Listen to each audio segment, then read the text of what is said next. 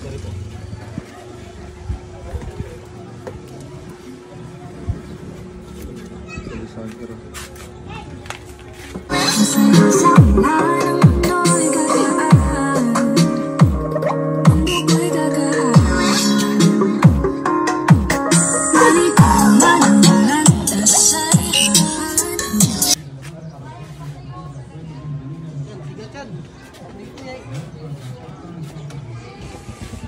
Isang magandang umaga na naman sa inyo mga boss. Welcome na naman sa panibagong vlog natin. So ngayon nga mga boss, top box naman tayo. At loaded setup naman ang gusto i-avail dito ni Bossing. So yung box nga dito ni Bossing mga paps, kung mapapansin nyo ay iba po siya. Hindi po siya box namin. Ito po ay dala ni Bossing mga boss. So kagandahan kasi dito mga boss, makakales po kayo kung may extra box na po kayo dyan o hard plastic. Basta wag lang po aloy mga boss kasi negative po talaga tayo. Balik na nga tayo dito sa gawa namin mga boss. Pagkadating pa lang ni Bossing, in-start na po natin dito yung pagkagawa. So nilagyan na nga natin to ng pattern sukat at pagbutas ng speaker mga boss. Sa mga bossing natin na hindi pa nakakaalam kung ilang speaker po yung niloload namin dito sa top box mga boss. Meron po tayong 6.5 set na 5 speaker. So yun lang po yung pinakamataas na namin na setup pagdating sa top box para swak na swak po siya kahit sa anong mga motor. So tara mga bossing, gawa muna tayo dito sa top box natin na kulay puti. Tignan mo na lang sa page nila yung sa'yo. Tignan mo na lang yung video nun sa page nila. Yung paggawa nun sa'yo.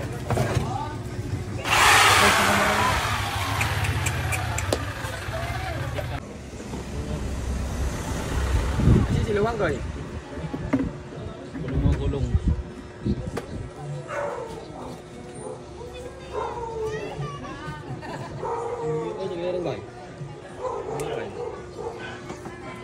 Solid shout pala dito kay na bossing na dumayo pa sa atin galing south. Kaya sa mga pops natin dyan na mga malalayo, eh di na po kayo magdalawang isip mga boss. Solid naman po at hindi po kayo mapapaya. Kasi quality naman po at saka subok na po yung gawa ni Mix. Click na nga tayo sa gawa natin mga boss. Ito na nga, natapos na po namin na setup yung top box ni Sir. So top naman tayo dito sa battery niya. At i-sound check na natin to mga boss para sa mga top box na gusto pa magpagawa.